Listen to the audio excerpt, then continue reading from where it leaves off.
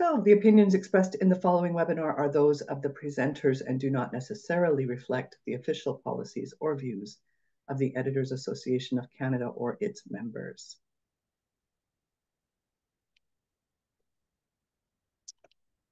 Editors Canada is on and is grateful to work on treaty lands and territory of the Indigenous peoples, Inuit, First Nations, and Métis of what we now call Canada.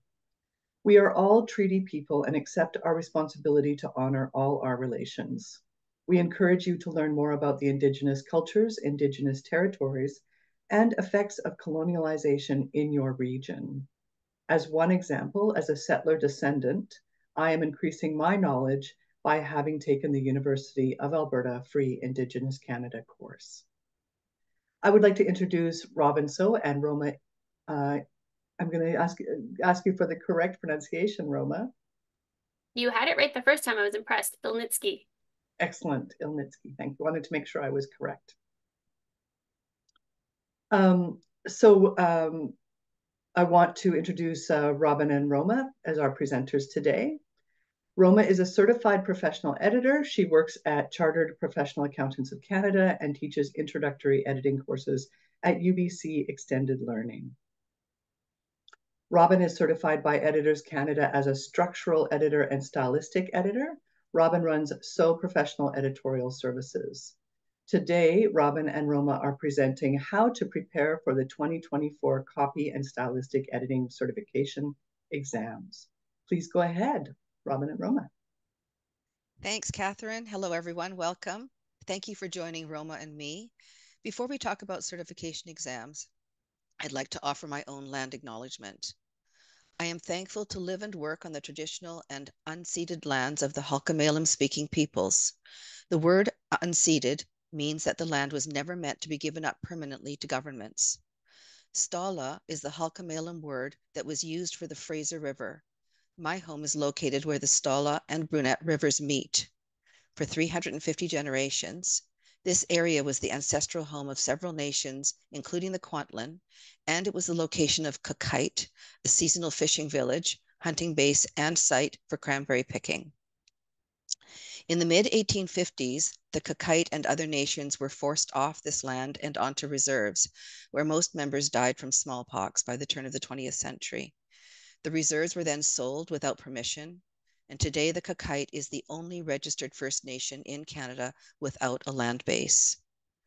My current commitment to truth and reconciliation is to hire an elder or other knowledge keeper to share Indigenous approaches to land stewardship with my Girl Guide unit.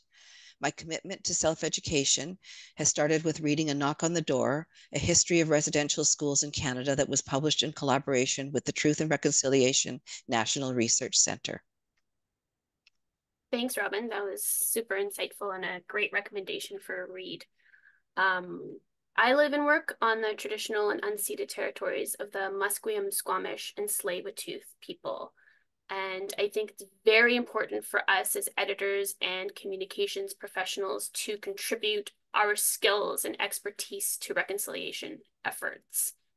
I've also committed to doing so in my teaching practice. I'm learning about the First Peoples principles of learning, and I'm trying to embed those into my teaching. For example, one of the principles is that learning involves patience and time. So I'm inviting all of us to reflect on that and keep that in mind as we learn together over the next hour and a half.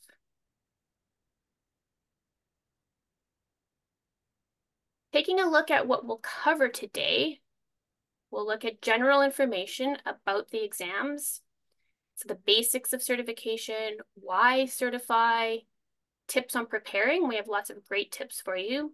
And we'll also take a little bit of a deeper look at part A, the fundamentals. Robyn's going to then take a look at the copy editing exam specifically. She'll discuss some resources for you, new standards to be aware of, and an example of how to apply a standard. And then I will do the same for the stylistic editing exam. So some resources, new standards, and an example of how to apply a standard. You should have received a handout today which is a list of resources that Robyn and I will be mentioning today in the webinar. It's split between the two exams, copy editing and stylistic editing, but you'll see a lot of crossover just because many of the resources are relevant to many of the different levels of editing. So you'll notice that there's a general reading list, and then there's also example reading lists, sort of um, that uh, go a little bit more specifically into which sections of those resources might be particularly helpful as you study. And we've drawn on our own experiences of studying for the exams to highlight those specific sections. Before we dive in, I just do want to state that a disclaimer that this is an informational session. We're not going to be teaching you any editing skills, and we can't guarantee your success on the exams if you do choose to write them. Okay, let's dive into some general information. Some of you might, you know, be quite familiar with this, but I just want to make sure that everybody's on the same page about what we're talking about.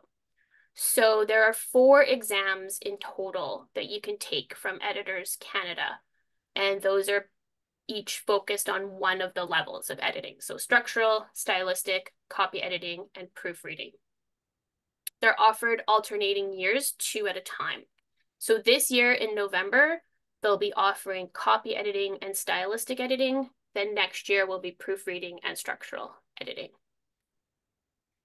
The goal of the exams is to test mastery, not just basics. So there is a requirement for you to have quite a bit of experience and knowledge before you take the exams. The recommendation is for people to have at least five years of editing experience. That's just a you know a guideline. There is no rule. You don't have to apply or prove that you have the five years of experience but it's just a way of um, really driving home the point that you need to have quite a bit of experience. And it's also not just experience in that particular skill that you're being tested on but a wide breadth of experience because you will also be tested on you know, uh, fundamentals of editing, which involves you know all the different types of editorial processes I'm going to talk about in a few slides from now. If you're a newer editor or you're not sure whether you're ready to take these exams, there is a great new alternative from Editors Canada called Editing Essentials. It's a one hour multiple choice exam with 45 questions and it tests the basic basics of editing, that basic understanding of editorial skills. And it's a really great way for you to show clients or potential employers that you have a basic level of editorial skills. So that's something for you to look at if you're not quite sure if you're ready to take the certification exams. So how do you know if you're ready? There is a checklist from Editors Canada that we've linked on the resources list, and it has a series of questions that help guide you to understanding and deciding whether you're ready or not. For example, one of the questions is, is my experience reasonably broad? So that means, have you only worked on a specific, a certain type of document or only one type of editing? in one specific field. If you have, um, then that's a cue for you to maybe do some more reading and some more practice in different areas to get that broader experience. Remember, it's not just about how much experience you've had or how long you've been editing for, but also the breadth of that experience. How widely have you edited? Another question on the checklist is, have I read books that may help me pass the exam? And again, if the answer to that question is no, then you can create a reading plan to help you achieve yes on that question. So if you're not sure, I do urge you to check out that list and just to, you know, be really honest with yourself and um, try to evaluate whether you're ready or not. And now I'll hand it over to Robyn to talk about why. Thanks, Roma. Um, I've written two of the exams, and preparing for them allowed me to identify my strengths and weaknesses and to improve my knowledge and skills in genres of editing that I rarely work with, as Roma said. Um, and by reading a wide range of materials, attending relevant courses and webinars, and working through Editors Canada's study materials, I knew that this professional development had made me a more effective editor, regardless of what the outcome of the exam might be. I sometimes struggle with imposter syndrome. It used to determine whether I said yes or no to particular projects. But passing that first exam truly changed how I perceived myself. Before that, I didn't believe other people's assurances that I was good at my job. But passing the exam was objective proof that I deserved to call myself an editor. And as I've already said, the months of study and preparation in and of itself gave me the confidence to know that I was a professional. I think the most important thing I want to convey with this webinar is to not let self doubts about your readiness or anxiety about taking exams to prevent you from trying. If you're at all tempted to write, write the exams. If you believe that you've got the requisite experience and you're curious about how you do, I encourage you to go for it. Yes, it is expensive, but think of it as an investment in you and your business that will pay for itself within a few years. So I think you can tell that I'm trying to say being certified gave me so so much confidence that I'm offering something of value. When I pay my massage therapist $100 for a session, I gulp at the amount inside, but I don't question their expertise or the value of their service. The day I realized I should be applying that same reasoning to myself was actually a revelation. A massage therapist has years of training and experience. Well, so do I. Now, on my invoices to clients, I make a point of including all the applicable professional standards that I applied to their projects to demonstrate my editorial excellence as I worked through their material. So, and it, that has given me the confidence to, as I said, to raise my rates um, each year. Okay, let's talk about some tips for preparing. The exam is four and a half months away. Starting now will give you time to prepare in small incremental steps.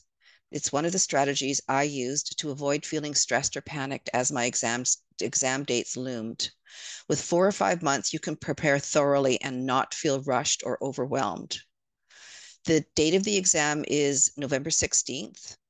Work backward and slot in the date you plan to write the practice exam the dates by which you will complete each exercise in meeting professional editorial standards, which is an Editors Canada resource that Roma will talk about shortly, and fill in the rest of your timeline with the other material you're going to work on. Making this schedule and sticking to it will help avoid feeling overwhelmed, and the schedule will also keep you accountable. There are two parts to the exam. Part A tests your knowledge and understanding of the fundamentals of editing. Those fundamentals are covered by Part A of the Professional Editorial Standards. Part B of the exam tests your mastery of Part C of the standards if you're writing the stylistic exam, or Part D of the standards if you're writing the copy editing exam. Do study the standards in depth.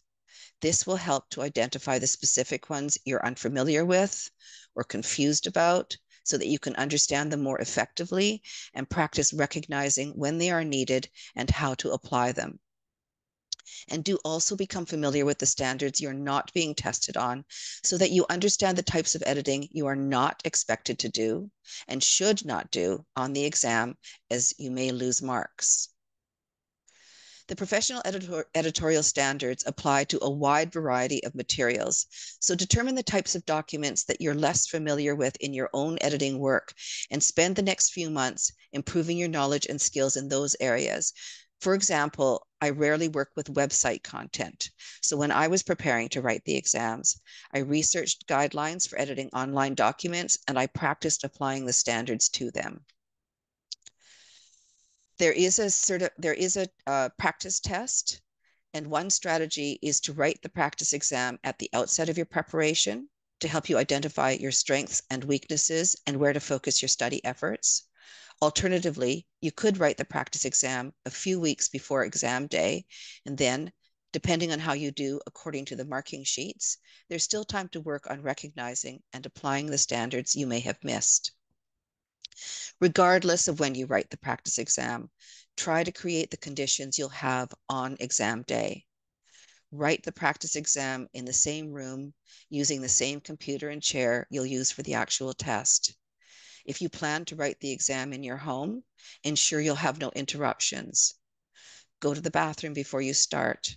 Have the editing resources you've chosen ready to go on your desk, and also have nearby water, snacks, and whatever else you anticipate needing. Aim to write the test in a three hour sitting, stopping at the three hour mark, even if you haven't finished, in which case you'll want to work on increasing your editing speed.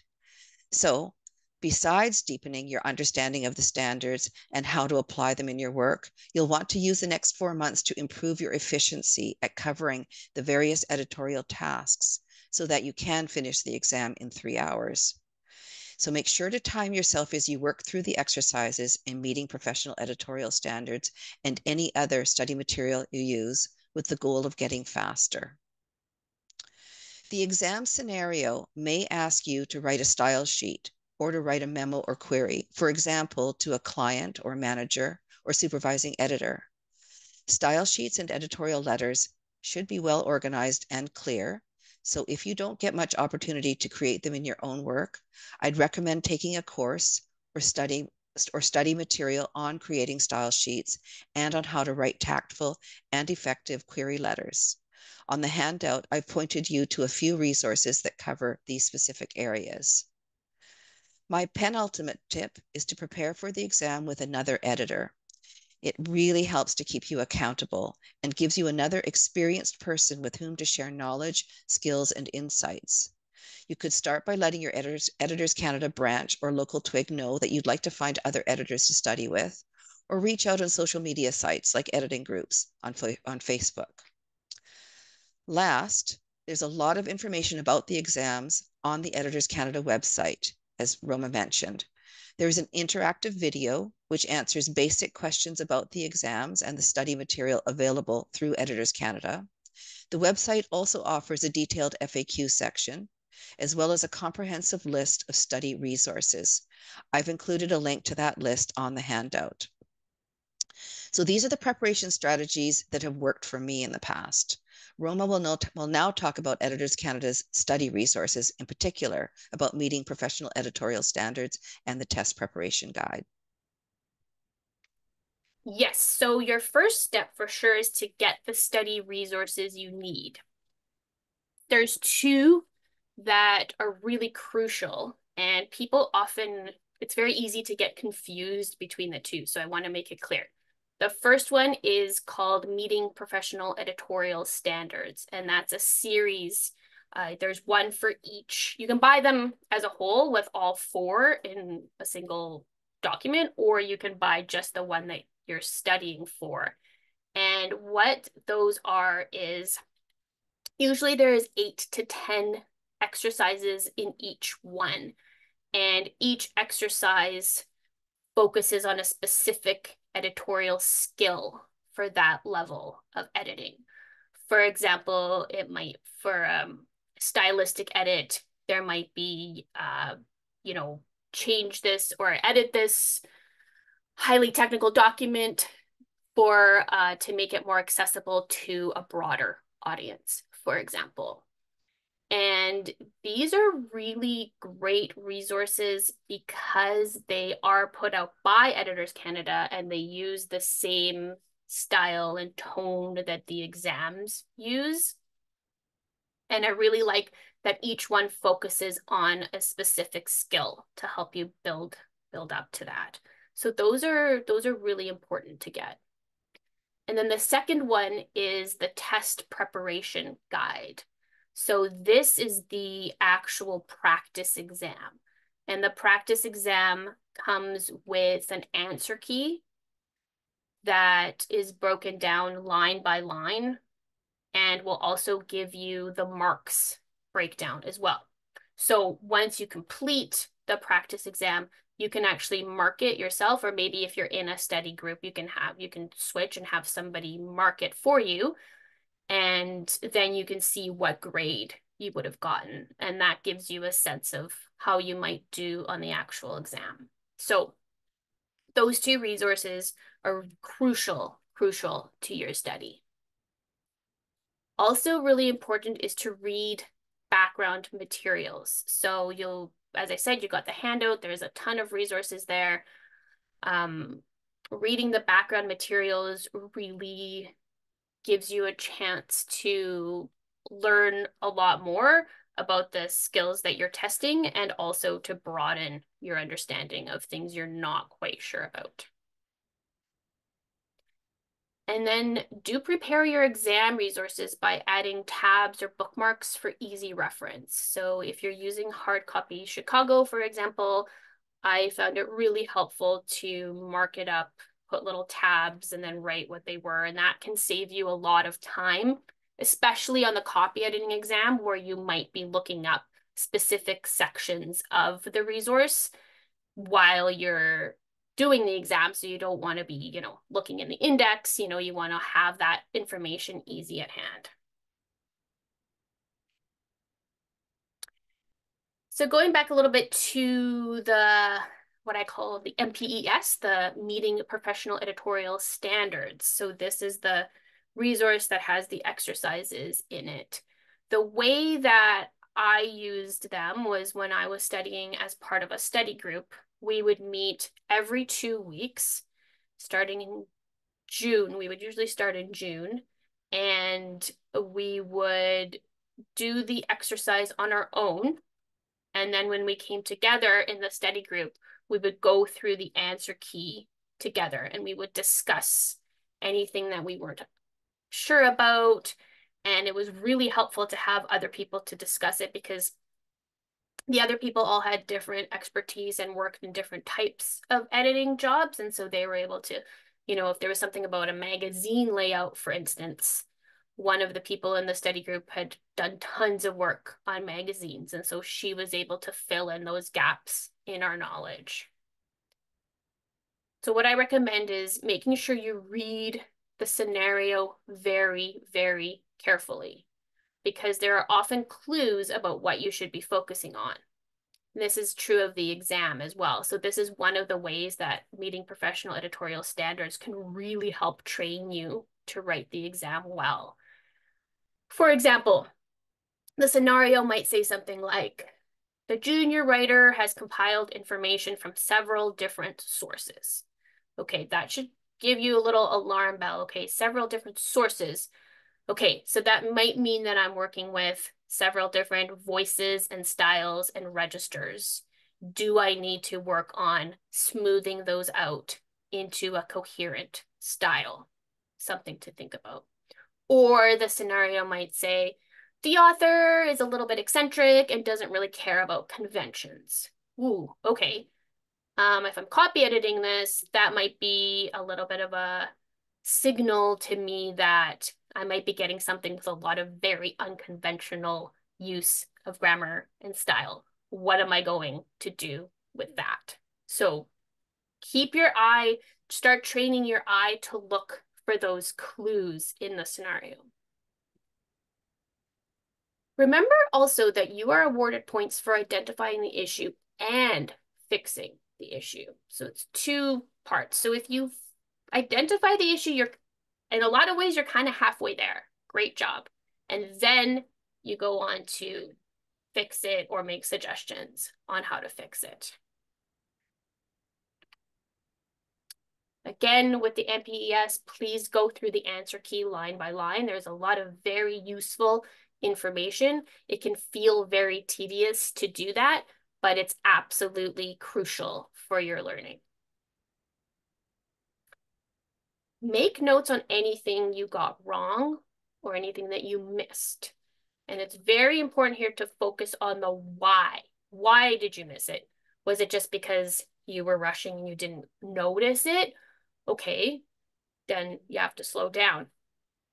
Or is it because you didn't know that that was a rule or a guideline? And that's something that you need to read up on. So focusing on the why is really where the learning happens, and it's very, very important as part of your study practice. Keeping with that, I always have a lessons learned log. So just a separate piece of paper where I would jot down everything that I came across or that, that was new to me or that I learned during my studying. And I went back to my stylistic editing notes in preparing this, this webinar, and I found a couple of notes there. Resist the urge to copy edit I had written in, in big letters with a, you know, several more exclamation marks there. And then I had jotted down difference between likely and probably. So I had missed that in one of the exercises. And so that was a reminder to myself to look that up, read up about it, and then remember it as well.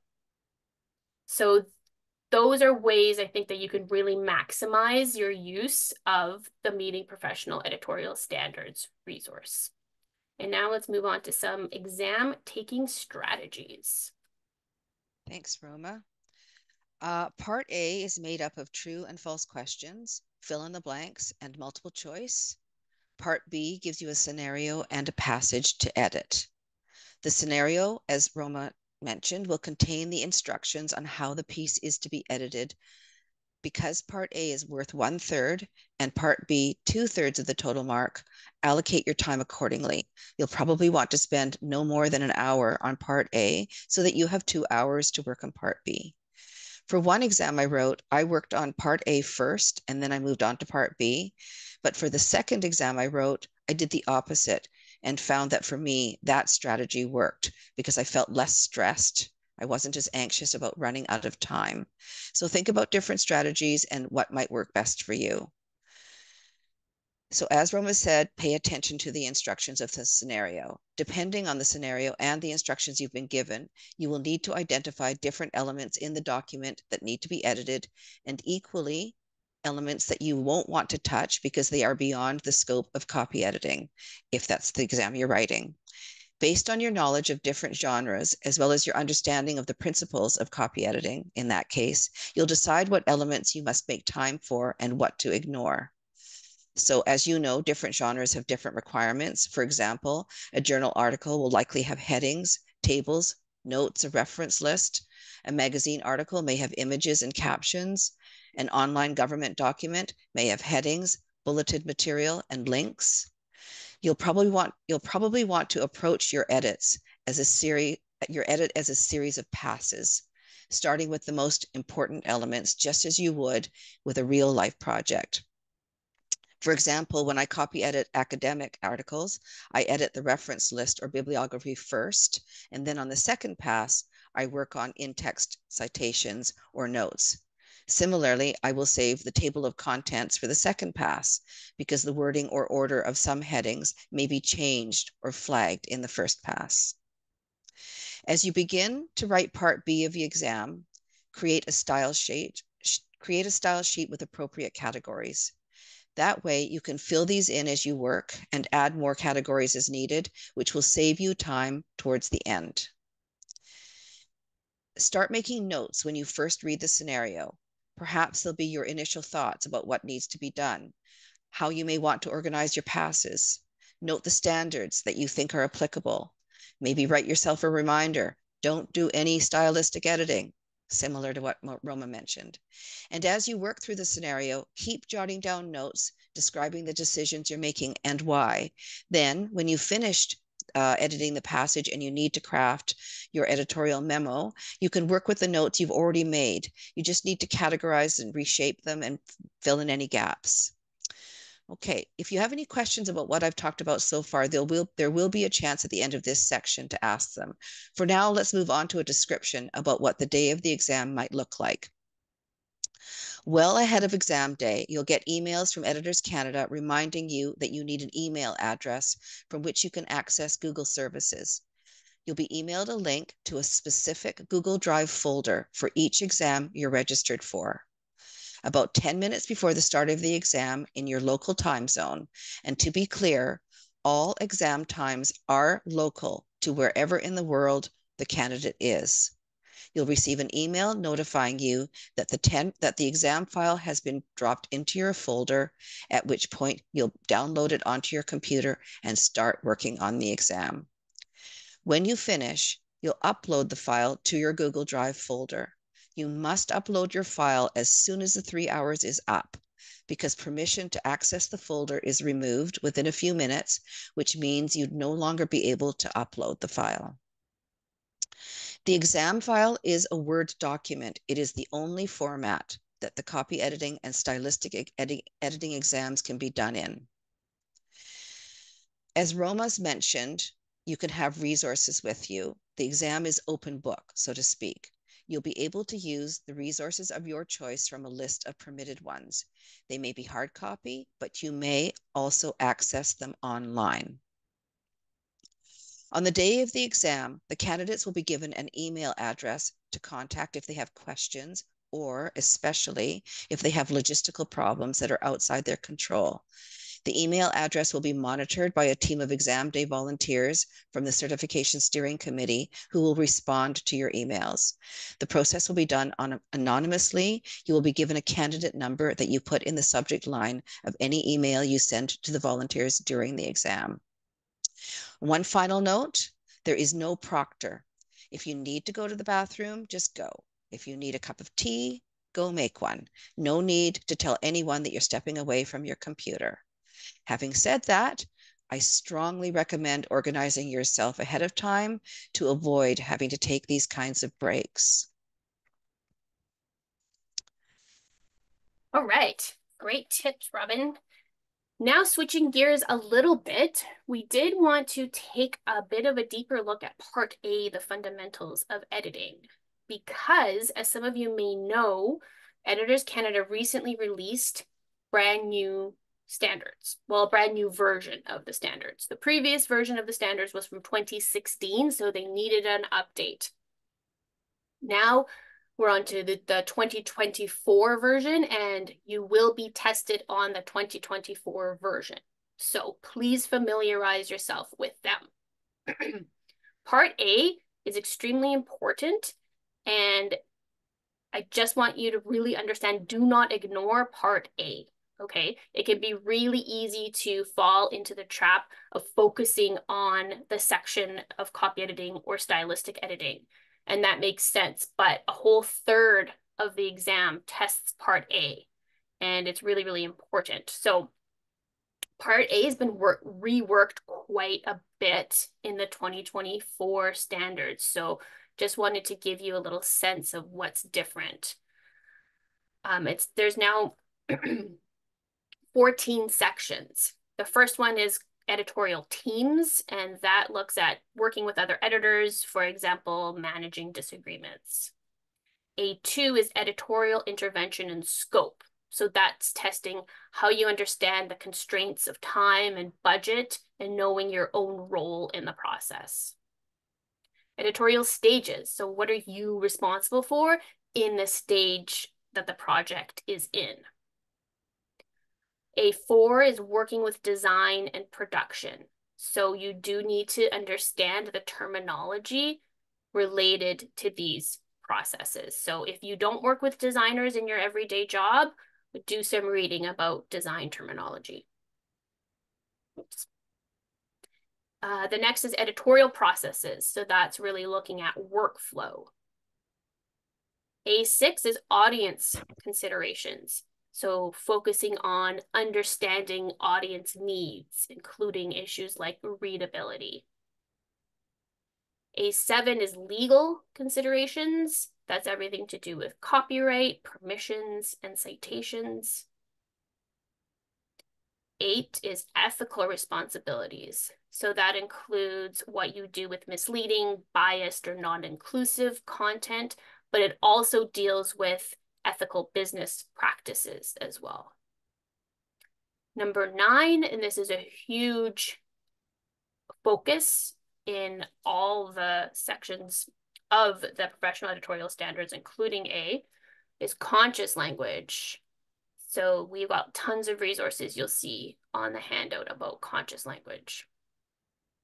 Whoops, sorry about that. Number 10 is accessibility. This is new and it might be new for many folks out there. Making a document accessible is out of your scope. That's not the editor's responsibility and the standards are very clear on this. However, you do need to understand what accessibility means and what how an editor can contribute to creating an accessible document. You have to know whether there are any laws or requirements related to accessibility that relate to your document. So there's two blog posts I've put on the handout, one by Amy Haagsma, one by Tally Ijak, that are really excellent in um, explaining how editors might understand accessibility issues. Please do read those. A11 is looking, understanding editing resources for spelling, usage, grammar, and fact checking. Now this goes beyond your style guides and your books and also focuses a lot on software. A12 is communication, so all about clear diplomatic queries and memos, as well as knowing when to query and when not to query. A13, which is the, you know, one of the basic tenets of editing, do not introduce errors. It's got its whole own section now in the standards. And finally, ongoing professional development. Uh, it's actually in the standards, you are required to expand your knowledge of editing processes, no matter what stage of, the, of your career you're in. So again, please do familiarize yourself with these. Part A, there's going to be questions absolutely on a lot of these issues. Some resources, these are the basics. Chicago has great sections on overall editorial processes, editing Canadian English uh, from Editors Canada, wonderful resource, as well as its companion, Editorial Niches, and then those two blog posts about accessibility that I mentioned, really a really fundamental reading. So that's the end of our first section, which is looking at the basics. Do we have any questions? Wonderful. Yes, we do have some questions. Great. Um, is there any recommendation for the order to take the exam? So for example, should you take the proofreading exam before taking the copy editing exam, etc.? No, it just depends on where your experience and where your knowledge is. Great, thank you. And I see some people are trying to raise their hands. Please put your questions in the Q&A, type your questions in the Q&A, and then we'll answer them there.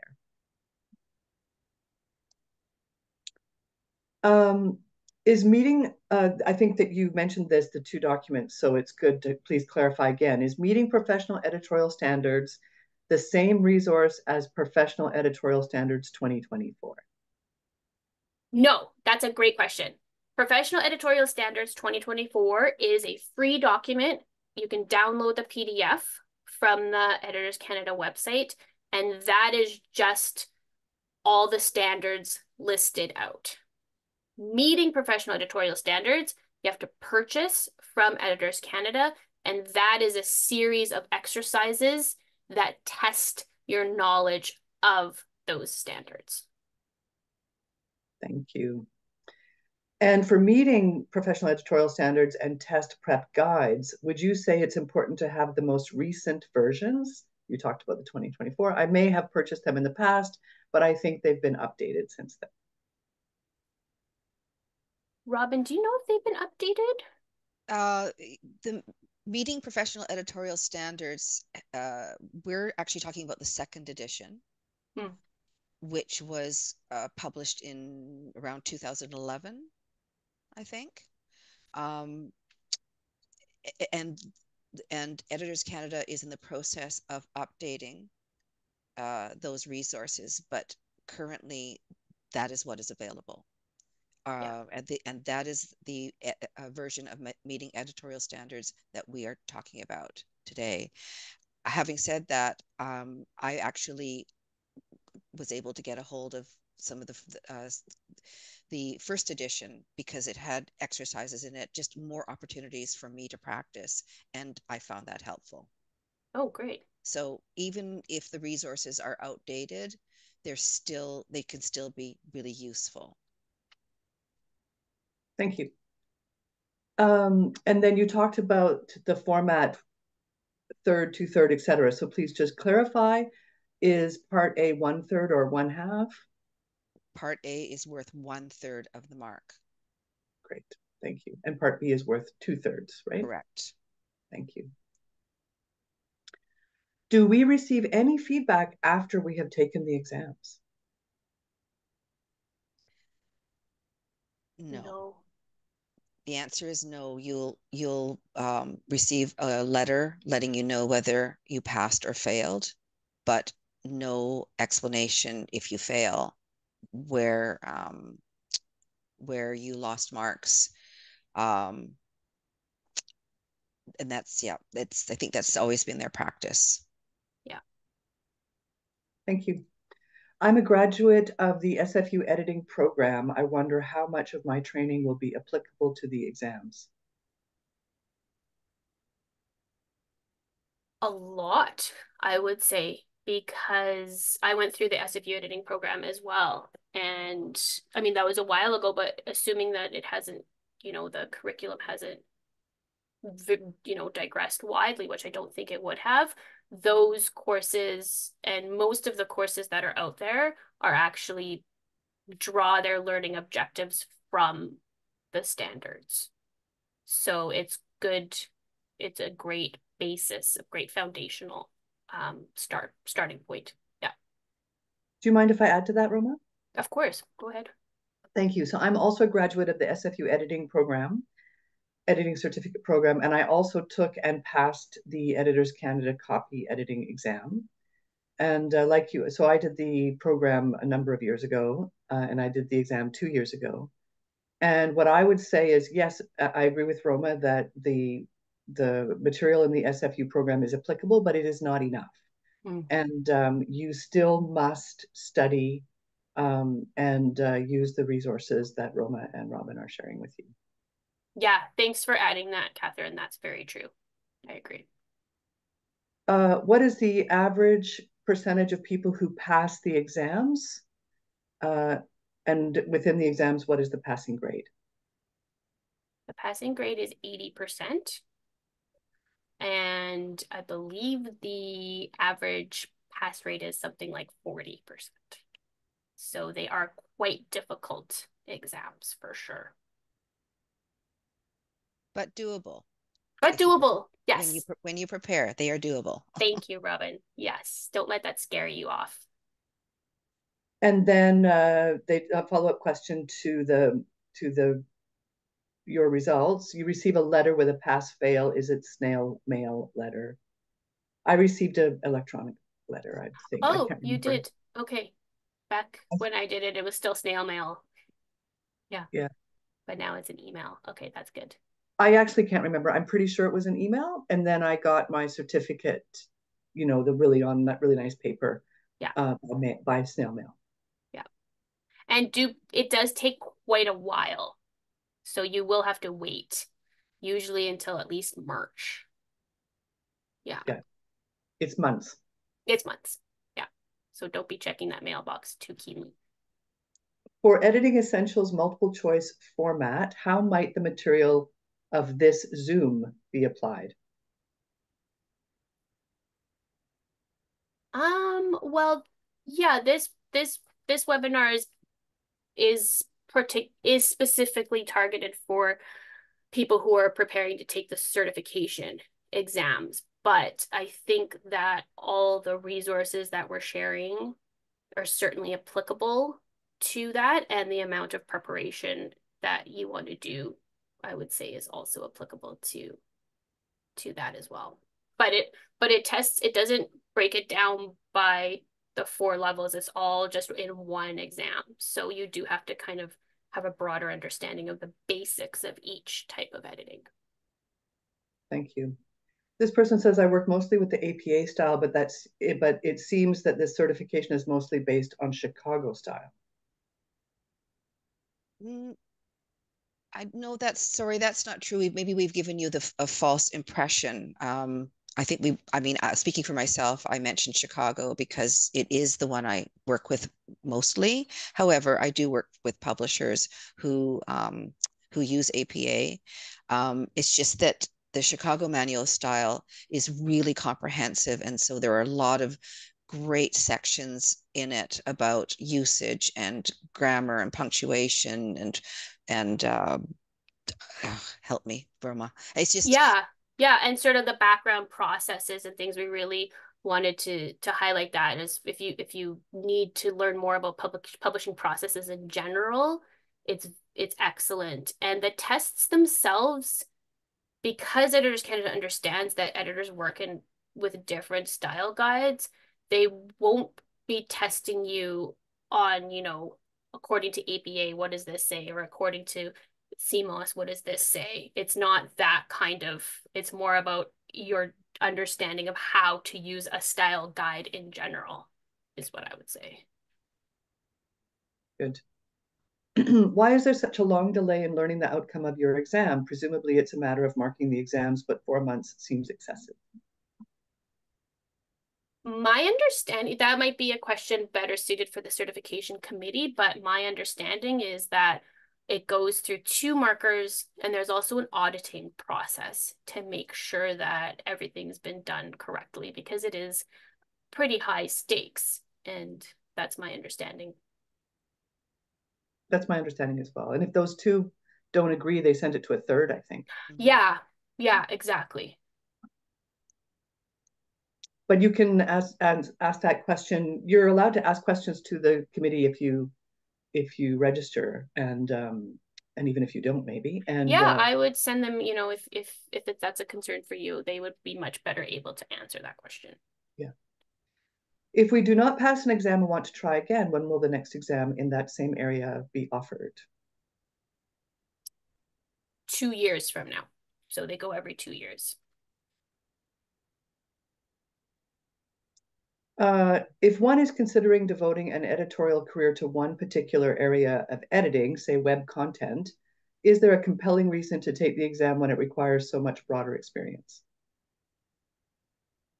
Well, as I said, um, I think most editors work tend to work in specialize in one or two genres, um, but it's I feel it's worth it because um, well, for me personally, it was because it gave me more confidence. Uh, but it, I think it really also um, made a huge difference in terms of uh, the rates I can, I feel comfortable charging. Um, it makes a big difference in potential clients being interested in hiring me. I, I, I think for those reasons alone, it's worth doing. So even, even if your work is strictly within within with web content uh, presumably you could uh, seek more clients and who'll be and they'll be more interested in because interested in you because you you've set yourself apart from all the other editors who work with online content but are not certified. Great, thank you. I agree. And uh, Amanda adds, uh, I've marked several exams and Roma is correct on the marking process. So thank oh, you for confirming you, that, Amanda. Uh, somebody asked, why are the two exams done on the same day? It seems like a heavy burden to spend six straight hours on two separate exams.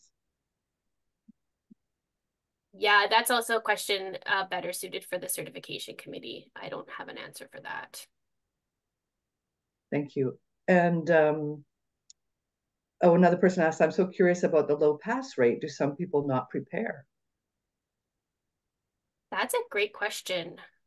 I guess I guess so. Yeah, or maybe uh, take the take the exam without being ready for it, and that's why we have that checklist. That's really helpful. Yeah. Uh, yeah, we um, the information that we were given is that um, the people who fail the exam uh, in the, I mean, everybody indicates uh, if they take the survey after the exam, they'll indicate how much time they put into preparing. And um, there seems to be a correlation between uh, how much time people put in and whether they passed, but also uh, people who fail also tended to go beyond the scope Mm-hmm. of the of what they were asked to do. That's So, a huge, huge yeah, so issue. if, Don't go so if they were the scope. writing if they were writing the proofreading exam and they did some copy editing, they're going to lose marks. yeah Stay in your lane. Stay in your lane. Um, we are just getting up to the top of the hour. Catherine, is it okay for us to just move on to make sure we have enough time to cover the rest of? Yes, there's only we one have- more question. Okay, let's do one Let's more. just do this, and then if, if any more come up, then I'll hold them until the next one. Great. Uh, to follow up on the style guide question, you say the questions are more broadly about how you would apply style guide in the scenarios, but applying the rules of CP versus CMOS, for example, would result in very different edits. How does the exam account for this? Oh, that's a good question. Um, trying to think. You know, it might say indicate in your style guide which which um or your style sheet, sorry, which guide you've been using. So they make it a little bit more generic, I would say Mhm. so that you have the space to use, you know, because again, it's about the consistency, right? That's really, really key for copy editing in particular. Yeah, so if I might say, I, we don't want to give you the impression that you need to um, know all the differences between, you know, citing notes using APA versus MLA versus Chicago, et cetera. That they're, that's not what the exam will be about. The exam is about your um, is testing or testing your ability to understand how to use a style guide. Exactly. Um, yeah. Uh, Exactly. Yeah. Good, thank you. Please go ahead. Great. Okay, Robyn's gonna take a look now at the copy editing exam in particular. Mm-hmm. Um, so uh, the handout you received, uh, you'll see that Roma and I, Roma and I made separate lists highlighting resources we found super helpful, but both lists include material that will be helpful to you when you're preparing for the copy editing exam. So uh, my slide of the copy editing resources, um, I just wanted to highlight a few of them. Uh, we've already mentioned copy editing meeting professional editorial standards, which is Editors Canada's publication that with the exercises. The other Editors Canada publications I've highlighted are Editing Canadian English and its companion Editing Niches. That's a great resource with in-depth information written by experts on specific topics such as fact checking and editing online and visual materials. Um, most publishers I work with have made elements of Indigenous style a part of their own style guide. It's an excellent resource for learning ways an editor can help to ensure that Indigenous peoples are represented fairly, accurately, and rep- respectfully. I also mention Amy Einsohn's The Copy Editor's Handbook because there are sections on what copy editors do and on querying and style sheets, but I find the entire book indispensable. Apparently, the 18th edition of CMOS is due out this fall, which is exciting. But I've included the 15th edition on this list because it was very helpful for me when I was preparing for the exams. I've always worked as a freelancer, and at the time I wrote my first exam, I hadn't yet had any opportunity to work in house. So the production and design processes, uh, as explained in the appendices of the 15th edition of Chicago, were my best resource for understanding the fundamentals of the publishing process. So I know that's not really about copy editing, but I wanted to mention that.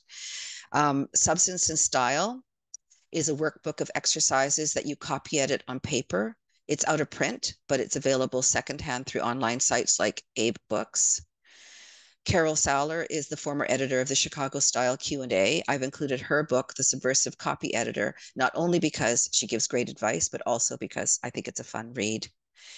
Um, regarding conscious language resources, there are so many excellent ones online. I'm just going to mention a few of them here. Uh, Crystal Shelley's website, Rabbit with a Red Pen. Some of you may be familiar with her name.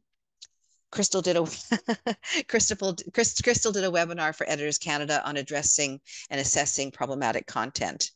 Um, uh, there's also one called GLAAD's uh, Media Reference Guide, and that advocates for fair, accurate, and inclusive LGBTQ representation in media. There's the diversity style guide um, that was originally based out of the journalism department at San Francisco, San Francisco State University.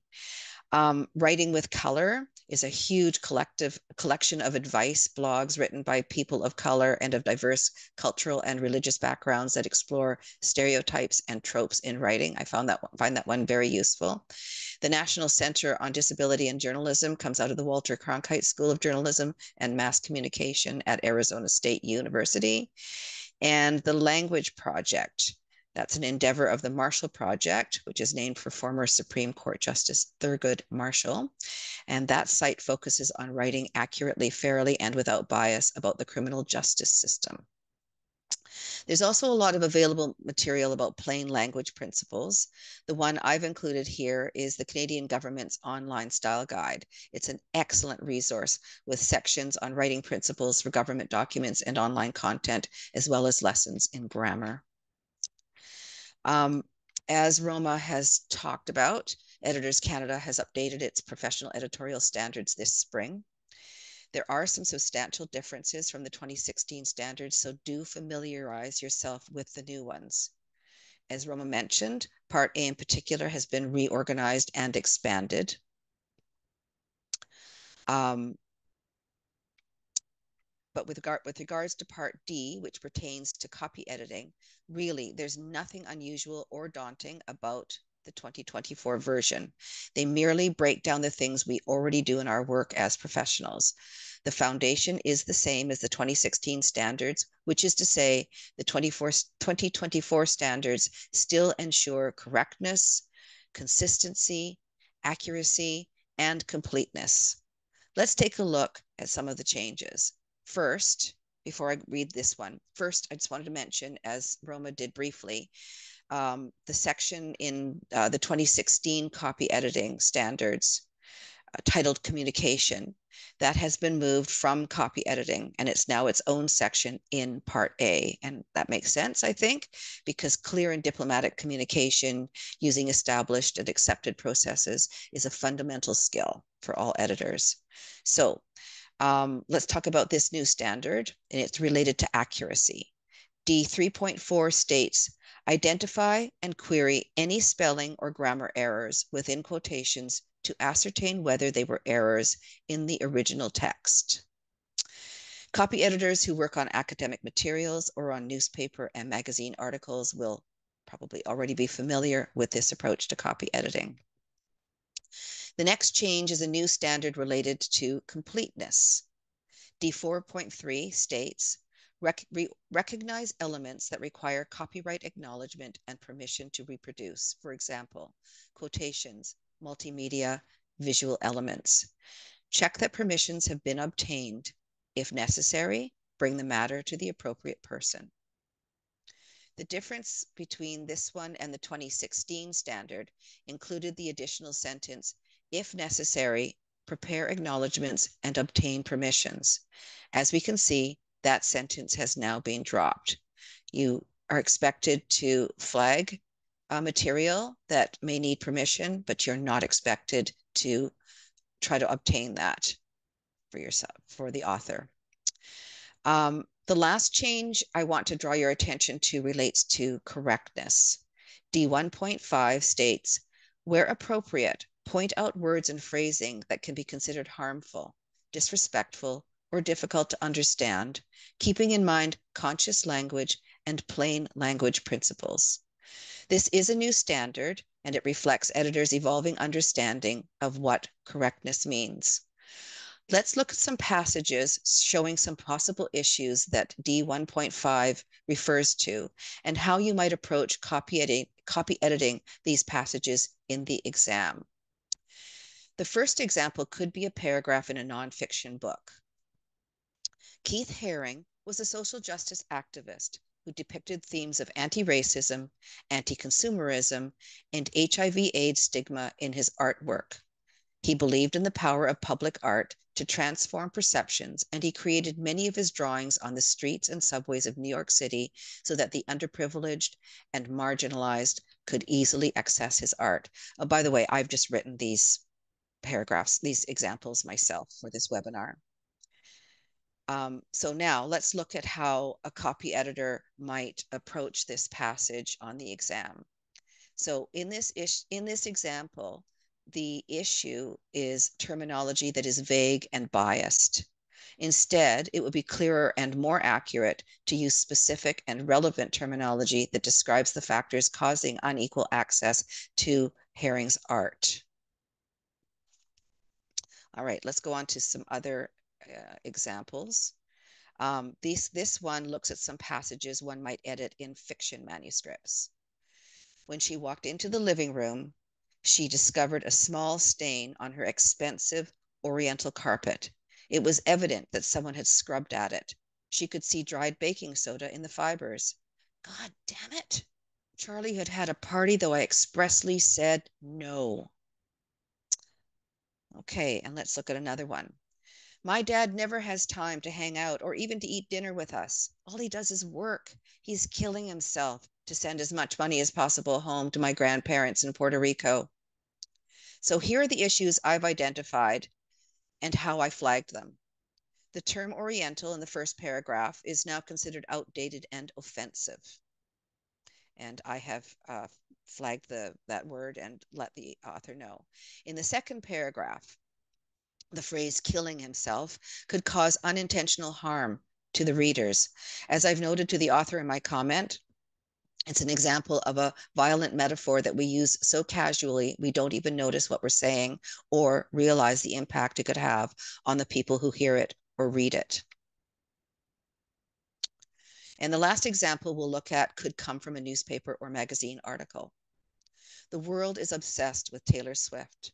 The pop icon's fans, known as Swifties, spend tens of thousands of dollars traveling to other continents in order to attend one of her concert, concerts. So here I have flagged the word obsessed. It's being used in a way that associates a preoccupation with a celebrity with excessive behavior. One could infer that the writer is judging Swifties negatively, but even if one thinks that it's a neutral or a positive statement, the label inadvertently perpetuates the stigma experienced by people with a mental health diagnosis. So these particular examples show the way language can stigmatize, denigrate, or exclude others, which is what conscious language editing is about. But language can also reshape the way we see each other and ourselves. And editors have both the opportunity and responsibility to help authors choose language that is instead inclusive and empowering. Does anyone have any questions about the copy editing exam specifically?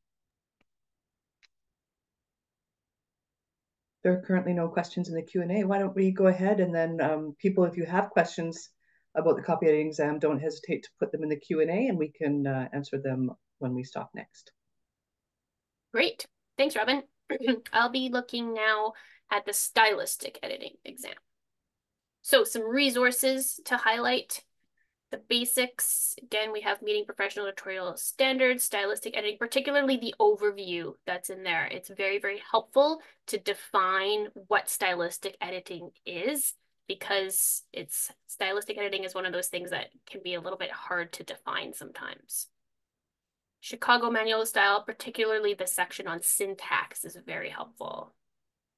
Robyn had mentioned the copy editor's handbook, and the final chapter of that handbook is called Beyond Grammar, and it's excellent in talking about stylistic issues. So even if you don't have that book, go to the library and read that final chapter conscious language. Uh, there's a great section in Chicago on bias-free language. Editing Canadian English has a section on inclusivity. CP Style has a section on sensitive subjects. And then this is exciting news. Some of you might know that Karen Yin, who runs the Conscious Style Guide website, has actually now published a book. So this is a really, really excellent resource for conscious language issues. And then specific topics in stylistic editing, um, Canadianization uh, in editing Canadian English, very helpful. Robyn had mentioned elements of Indigenous style, in particular for stylistic editing. The section on terminology and the section on specific editorial issues can be very helpful. And then plain language, which absolutely falls under the purview of uh, stylistic editing. Uh, the resource I wanted to highlight is plain language, clear and simple. It's a bit of an older resource, but it's free and it's excellent. So please do check that out. Okay, taking a look at the new standards for stylistic editing. As with copy editing, the basics remain the same. The standards state that stylistic editing is editing to clarify meaning, ensure coherence and flow at the paragraph and sentence level, and refine the language. So that hasn't changed from 2016. However, some of the standards have been reworked, but the essence remains the same. But I did want to highlight three bigger changes um, for you today that are three areas with new standards. So there is now a whole section on conscious language. Before the conscious language and the plain language were kind of, they were together in a section on on language, but now they've been separated out and expanded a little bit as well. So C4 now is on conscious language. So 4.1, where appropriate, point out words and phrasing that can be considered harmful, either intentionally or unintentionally, and suggest alternatives. 4.2, understand the author's intentions when editing language so that it does not inadvertently offend intended readers. Consider whether the language might be harmful to unintended audiences that it will likely reach. So here we're really talking about audience and context. So understanding who your intended readers are and what kind of language might offend them and then but who you know the wider wider readership as well The next is this new section called Stylistic Editing of Narratives. I find this one quite interesting. 5.1 says help make the text more engaging and entertaining and ensure there are no boring passages. 5.2 check that the text achieves the intended effect on the audience. For example, try to ensure that the humor is funny, the erotica is arousing, the frightening passages are spine chilling. Be aware of the cultural differences that can make it difficult to target this kind of editing for specific audiences. So again, we're talking about audience context, who the intended reader is here, very important. 5.3, check that the mood of the writing matches the mood of the content. For example, a funeral scene shouldn't usually be written flippantly. And finally, 5.4, check that the mechanics of the writing match the content. For example, a calm description of recumbent sheep in a field can be written in long sentences and paragraphs, but an exciting fight scene should move quickly by using short sentences and paragraphs and common words. So when I read this section, I really think that a lot of this applies very much to fiction editing, uh, maybe more creative endeavors. But I do think that, um, you know, especially the parts about making text more engaging, checking that the mood and that the mechanics of the writing uh, match the text can apply to any type of document that you're working on. And finally, there is, again, this separated out section now, stylistic editing in plain language. 6.1, when applying plain language principles in stylistic editing, do the following. A, as much as possible, use the intended reader's vocabulary. B, prefer concrete terms to abstract terms. For example, frog instead of amphibian. C, use only the same words for the same meaning and different words for different meanings. And D, use language that is culturally relevant for the readers. So these are basic principles of plain language, but specifically how they might apply in a stylistic editing context. So I wanted to give you an example of how we can apply some of these standards or how they might be tested on an exam. So this is the scenario. Okay, and again, as with Robyn, I made this all up. Okay, so this is a pretend question. Scenario. The following is an excerpt from a volunteer orientation guide for a cat shelter. The purpose of the guide is to teach new volunteers what they will be responsible for. Volunteers vary widely in age, but are most commonly either teenagers or older adults who have retired. The excerpt is as follows. Volunteers who work in the shelters are known as cat buddies. They take on two main roles, cat buddy and kennel buddy. Cat buddies work directly with the feline residents, taking the kiddos out of their cages and into a playroom, where they interact with the cats by offering socialization, mental stimulation, behavioral intervention, and nose boops.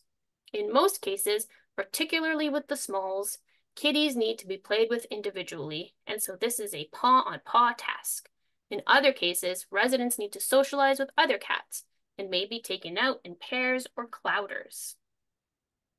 And your question is, identify two broad stylistic issues with this excerpt in relation to the document's audience and purpose. So what do we do with this? Well, the standards that are relevant here are 3.1, ensure that the voice, style, point of view, tone, and register are presented consistently and in keeping with the content and the author's goals and intentions. 6.1, when applying plain language principles in stylistic editing, do the following. B, prefer concrete terms to abstract terms. C, use only the same words for the same meaning different words for different meanings. So these are the two that might that are being tested in this question. So if you look at here, I've highlighted the issues. So in the yellow, we have all the different words that are applying to the same thing feline residents, kittos, cats, smalls, kitties. So we have five different words here apply um, referring to the same thing, which is the cat or the cats that live in the shelter. And then in the green, you'll see a change here in the register. Socialization, mental stimulation, behavioral intervention, and nose boops. So that's another issue. Then I've highlighted in blue, individually versus paw on paw task. And then finally in the purple, the word clowders. So these are all the potential issues that are going on here. And then I've drafted three potential answers to this question. Multiple words referring to the same thing, cat, are used. This interferes with the goal of the document by being distracting and imprecise.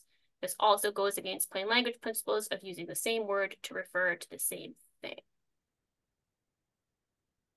Another an possible answer, some of the words are uncommon or slang, such as kittos and smalls. The target audience has a wide range of backgrounds, so they may not all be familiar with the different terminology used. And finally, the different vocabulary used changes the register of the text. For example, using both the technical term behavioral intervention and the slang term nose boops in the same sentence can be distracting and confusing. So remember that the question was to identify two broad stylistic issues with this excerpt in relation to the document's audience and purpose. So it's especially important to remember the context here, the document's audience and purpose. So in certain contexts, you know, maybe a socials post or a marketing email, we can use play, playful language like kiddos and smalls. But here we're dealing with a training document. We want people to get the information clearly. We don't want them to be confused. What is a kiddo? What is a small? Um, what is a clowder for that matter? That was another issue you could have raised. A clowder is a group of cats, but we don't it's not a common, super common word. So we don't want to distract the audience. We don't want to confuse them because this is really a training document. We want to make sure they're getting the information that they need. And we want to make sure that the meaning of each term is clear. Note also in these possible answers what I have not done, which is I have not suggested changes. The question was very clear in saying identify two broad issues. So remember to stick to what the question has asked you to do. Any questions about the stylistic exam or the copy editing exam, or we have um, a bit of time now, we can go back to some of the earlier questions as well. Great, thank you so much. We have a couple of questions. With concerns of conscious language, would you offer examples that would be more acceptable, or would you just offer up the issue involved and leave it to the author to address? I find it helpful to always offer examples to authors in case they're unfamiliar, but is that outlined in the standard? It's a really good question. Um, we we definitely want to flag the issue. Um, Roma, what do you think? Well, I think that the way the standard is written for copy editing is the flagging the issue is the most important thing. I think that it would be acceptable to also offer alternatives, suggested alternatives but not to make those changes. I think that's where the difference really is to not just go through and make those changes, but uh, flag it for the author, explain it to the author, because again, with conscious language in particular, some of these issues are new to folks and we need to understand that. And so explain it and then offer. I think in one of your examples, Robyn, you had said maybe antique might be more appropriate than mm-hmm. the word that, that had been used. That's that's my understanding of it. Great. For the question that Roma just presented on cats, would that be an example of something you would see in part A? Um yeah. Yeah. Uh no, because they're all they're all gonna be multiple choice questions in part A. Right? That might be an example of one paragraph within yes. the, the, the passage. Yes yes yeah. So part a is going to be all in the fundamentals and then also they're all multiple choice questions. They used to, back when i wrote them they were still fill in the blanks or like short answer but i believe they changed that a couple of years ago. So yeah thanks for that question. It would be more in this the longer scenario passage passage Thank you. Do you need to be familiar with editing fiction as well as nonfiction texts? With the principles, I think, mm-hmm. which are really the same. I, I, I personally think that the principles are the same whether you're editing fiction or nonfiction. Yeah, again, it's the the basic foundational issues are going to be the same. I don't edit fiction. I've edited one fiction book in my whole life. Um, and I was able to pass pass the exams. Um, any of the fiction specific questions I think can be filled in with doing some of that background reading. Because yeah, whether you're editing fiction or nonfiction, you're still going to want to think about. Well, actually, I should say it depends on the exam you're writing. Yeah, that's true.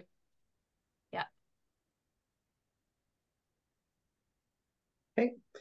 Would the C5 standard be examined in both Part A and Part B? It seems a little subjective. The C5. Which one is? Um, okay. That's for stylistic.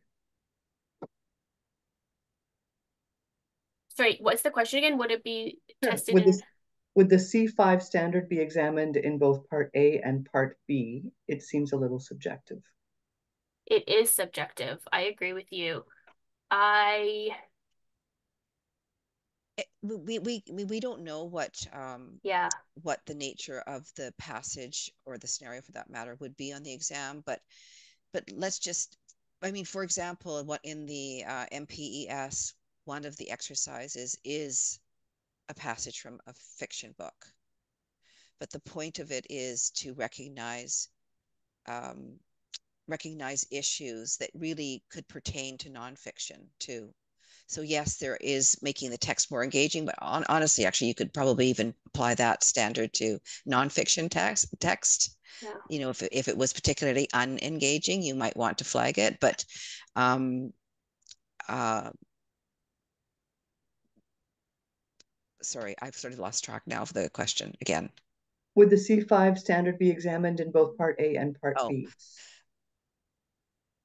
Well, I, I mean, poss it could be. I mean, but yeah. if it was if it was in Part A, it would be like a, a multiple choice question or a fill in the blank. So, I, I mean, I'm making this up, but maybe it'll be one cent. I'm no, you know, I don't even know if I can try to think. example it might it might just it might just be you know the question might be something like the text that it might give you a little a little blurb like a little excerpt of the text and then ask you to identify what what the issues are the four four different issues and you have to identify oh um you know the the mechanics of the writing don't match the the right or is it possible they might ask um uh, if you were asked to make the text more engaging, mm. is that is that an example of copy editing or stylistic editing? Yeah, absolutely. Yeah, yeah. Okay, thank you. And then I just note that we have only three minutes left mm-hmm. um, to the end, so this question is a little bit uh, bigger. Um, and if I may, I, will add something to it, uh, and then I'll pass it over to Roma, Roma and Robyn. It's for stylistic editing could you recommend which resources you would purchase versus, versus borrow from the library?